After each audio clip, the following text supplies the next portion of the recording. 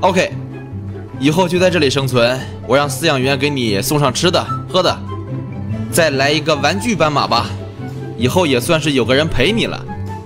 来，过来吧，在这里独立成长。如果不甘心屈服的话，你就卧薪尝胆，锻炼体质，争取未来的某一天再次夺回你的霸主地位。唉，辉哥也没有办法，这就是大自然的生存法则。做完这些事情之后，我准备在动物园里面增添一个新的动物了。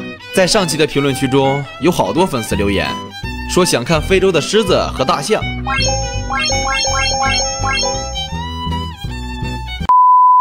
那我今天看了一下动物交易市场，狮子目前还没有货，大象倒是有两头，所以咱们今天先养大象。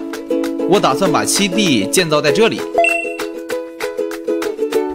当游客们坐着小火车过来的时候，可以直接在火车上看到大象的一举一动。